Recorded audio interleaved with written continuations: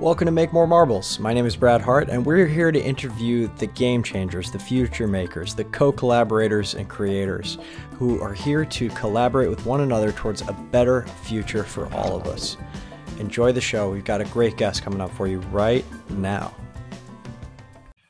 Welcome to Make More Marbles. My name is Brad Hart, and today I am thrilled. I've known Leila for quite a bit now. I've known, uh, I think we met in 2011, I want to say, on a trip to Africa. And Leila Janah is an incredible powerhouse of a young lady. She has done some incredible things in her time, uh, from Google venture-backed uh, NGOs that worked in multiple countries around the world, lifting people out of poverty. Over 45,000 people have been lifted out of poverty by her efforts. To her latest uh, skincare and product line called LXMI, um, to her book give work. She's just an incredible lady and honestly one of the like you you meet some living saints in your life i think like really people that give everything they have and more and, is one of those people. So i'm so grateful to have you on the show leila. Thank you for being here and for being who you are in the world. Thanks so much brad. It's an honor to be here and uh, i'm really excited to share what we're up to. Absolutely. So why don't we ground it for people? If you could just share a little bit of the story uh, where are you calling in from today, by the way? New York, from the WeWork uh, Soho South office in Manhattan. I've been there. Wonderful. Okay, cool. So the internet should hold up and everything should be solid. But you know, if, if anything goes down, then I apologize in advance. But um, yeah, give us a little bit of a grounding story. You know, let's let's tell people how you got to where you are today. Well, um, when I was 16, I was like a nerdy Indian kid who was applying to every scholarship I could find because my parents um, didn't have the money for me to go to college. So I applied for this scholarship from, of all places, a tobacco company. And I got it. And it was like a $10,000 check in the mail. And then I felt kind of weird about using money from big tobacco to go to college and I also wanted to have an adventure. So I figured out a way to use the money to go and do volunteer work and graduate early. And I found this like program in West Africa. I had never been to Africa, I had no connection there. But I found this program in Ghana, which seemed kind of interesting and exotic at the time. And so I thought, okay, I'll go and have an adventure, I'll do some service work. I won't use big tobacco money just to further my own, you know, college education. And uh, I did that. I was 17 when I set off for Ghana, I graduated a semester early and I worked at a school for blind kids in a rural part of the country. And I lived in a village where people made probably a dollar fifty a day on average and saw global poverty up close for the first time. And I was shocked. I wasn't so much shocked. I mean, I was definitely shocked by the conditions in which people were living, but I was mostly shocked by the fact that so many people there were really talented. Like, I had fed into this myth that people are poor in places like rural Africa because they have zero skills and they're kind of sitting around hoping that we'll show up with water and food. But, I was really shocked to see that Ghana was much the same as my parents' home country, India, packed with really talented people who could read and write good English and who just didn't have job opportunities. And I thought to myself, this is so silly. You know, we think that um, we're going to save these poor starving people by giving them aid but what they really need is work. Mm. and the more i talked to low income people and lived in their communities I, I, went on to to spend a lot of time in, in poor parts of africa and asia living and working in poor communities where people made a dollar or two a day. The more i talked to them the more i realized what they really want from me is not to give them a handout but to buy stuff from them.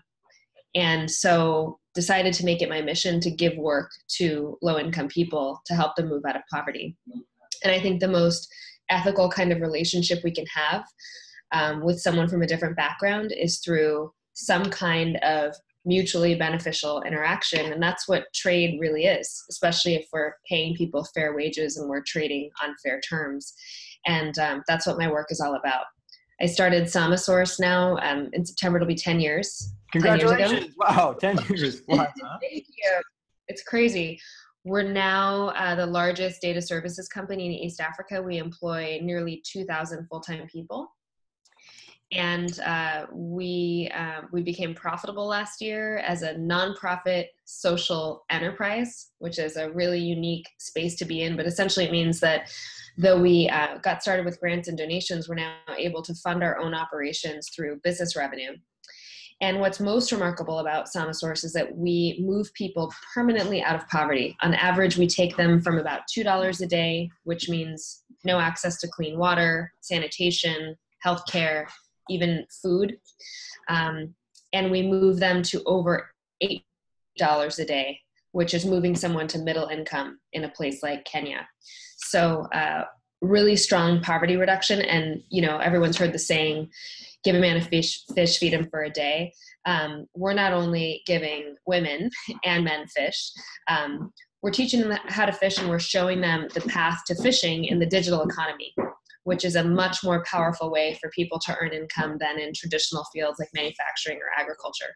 So, in so many ways, uh, Samasource is kind of paving a different path for people living in poverty. And then I started a, a second company. We talked briefly about that, LXMI, we became this is what the products look like. Actually I have one right next to me.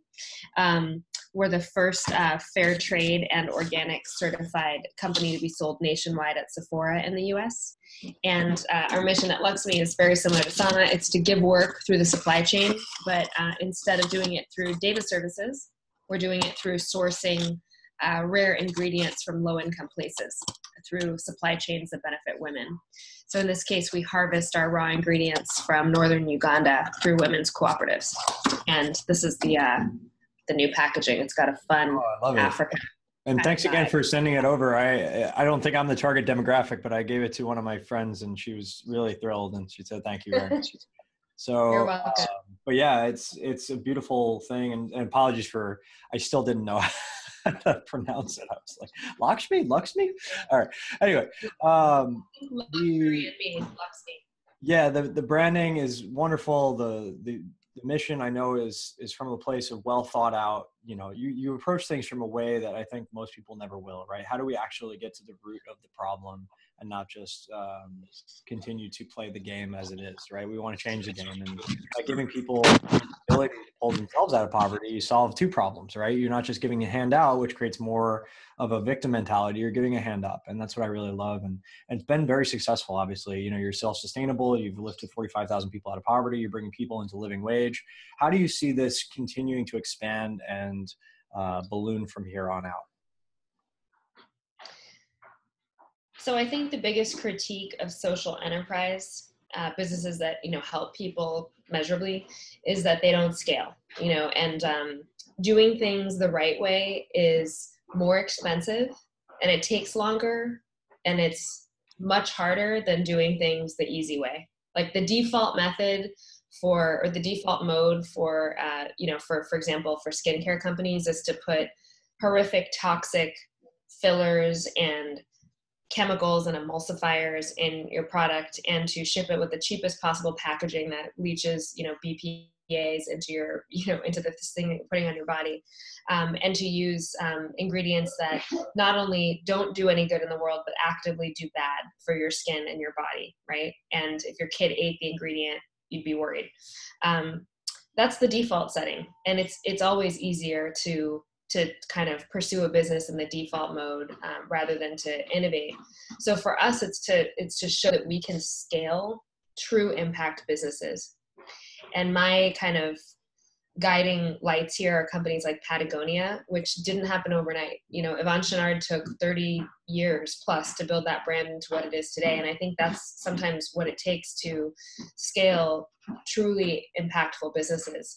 The VC model of like pumping tons of money into something and trying to get a 5x return in you know five years is um, is really not applicable i think. And frankly i don't think it's the way that long run value is created in the world. I think um, the most interesting problems are the ones that often take the longest to solve. So for us it means scaling. It means getting to from 2000 workers to over 10000 with sama i think we can build uh, the biggest tech business in sub-saharan africa that's my interest.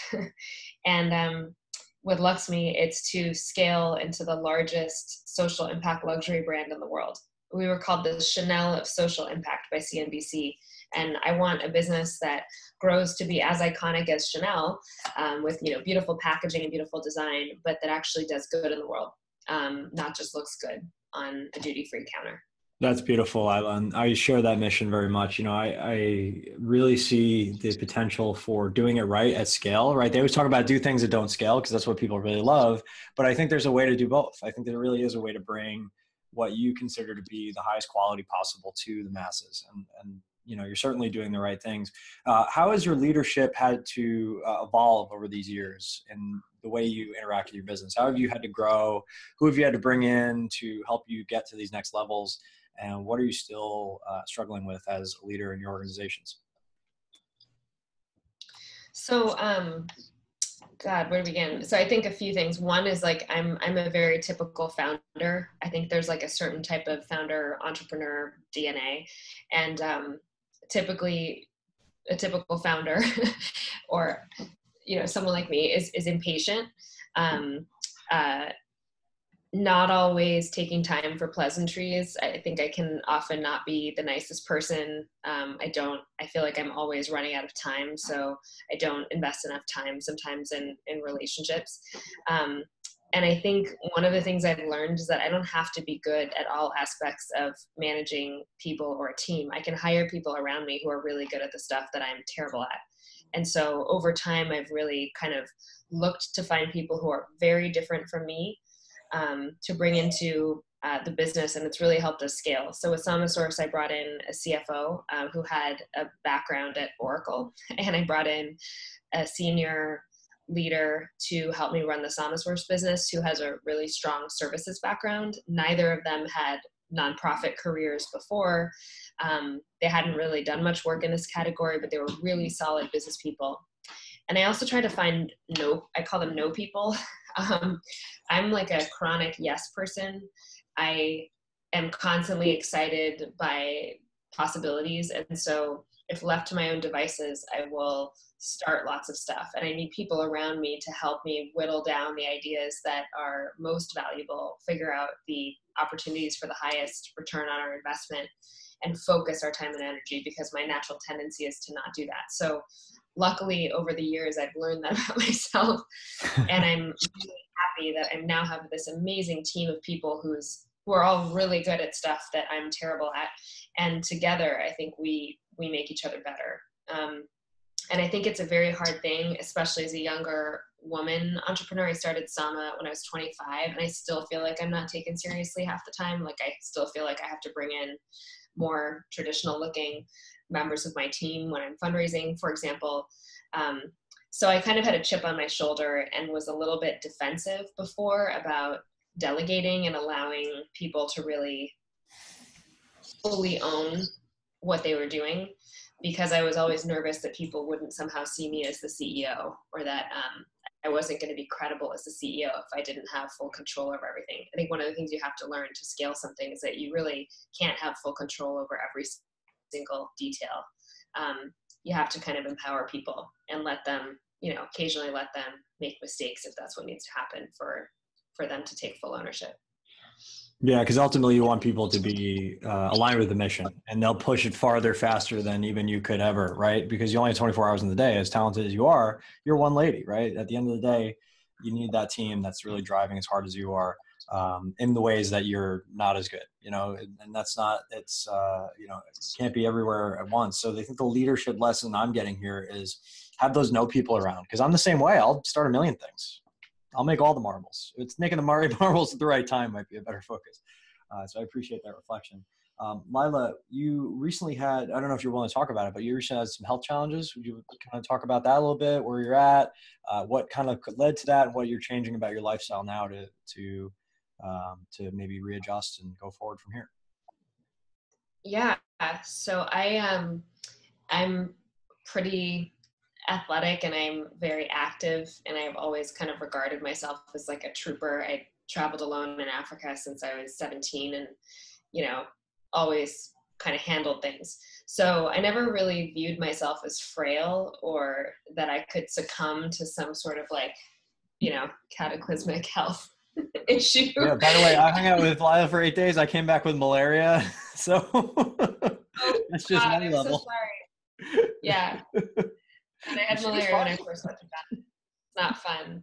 But um, you know, it, like if you've gone, if you spend a lot of time in developing countries and you have things happen to you, you you kind of develop a resilience. And at a certain point, you kind of get this feeling that you're invincible, which I certainly had. And I I was kite surfing in late November in Brazil and like learning how to hydrofoil and feeling just like very, you know, this always happens to me. I get like crushed by the universe when I'm feeling most overconfident about my own ability. So I was like feeling like I was rocking the world. And then I had this book tour. So in addition to Sama and LXMI, I thought it was a good idea to launch a book last year um, and then do a book tour around it, which I think in retrospect, I wish I had given myself a little bit more time to um, focus on the businesses and maybe push the book out a little bit later.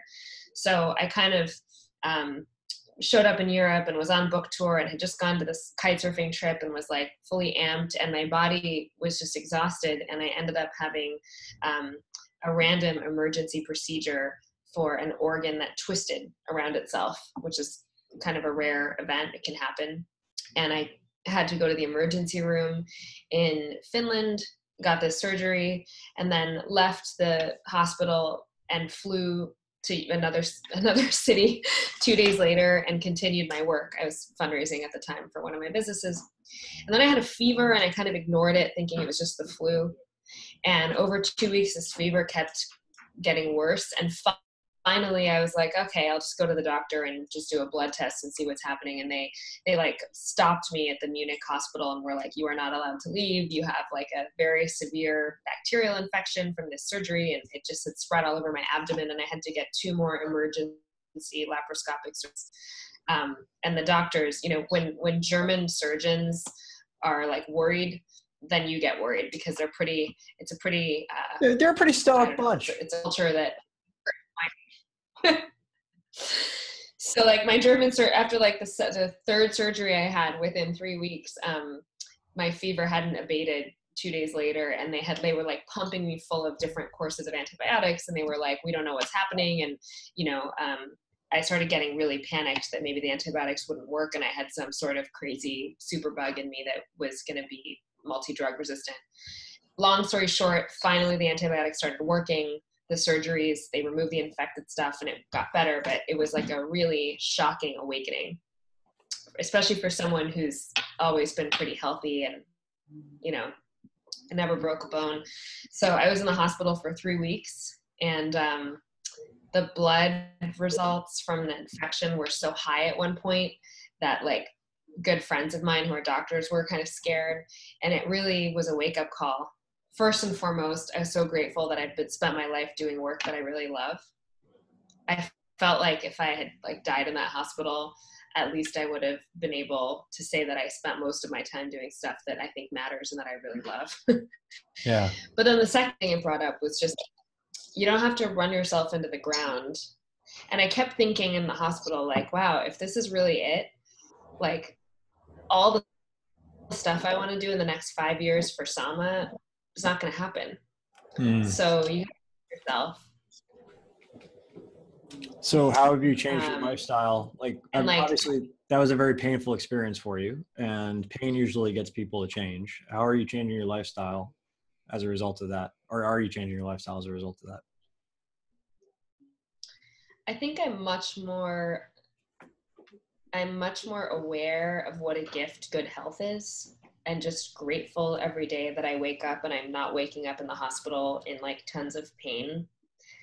And again, for someone who's never had that kind of thing happen before, it's an important kind of reminder. And I think that gratitude is in general a really healthy feeling.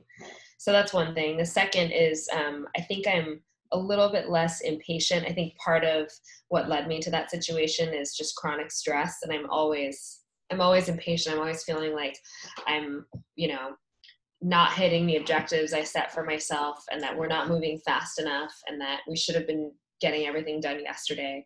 And that constant stress is really bad for your immune system. It's like bad for your body. It causes aging. It's bad in so many ways. And I think I beat myself up a little bit less. And I also try to remind myself that like, you know, it took Yvon Chouinard a long time and Patagonia is like a freaking amazing company.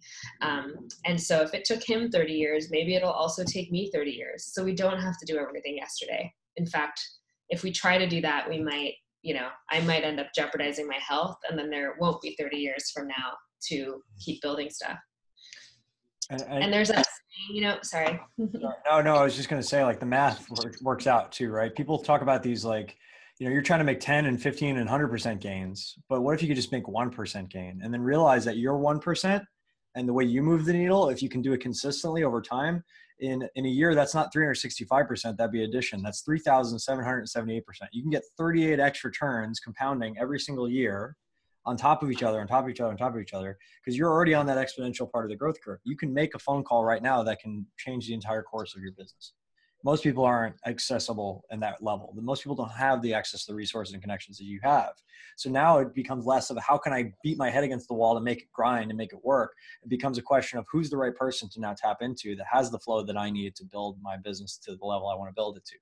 And you know that's my reflection is like i just know that you know everybody and that your story and the way you present it you will crush I just know it's now the right people at the right time and not beating yourself to death. It's finding the right exact thing you need right now. That's the finesse. That's the next level, I believe.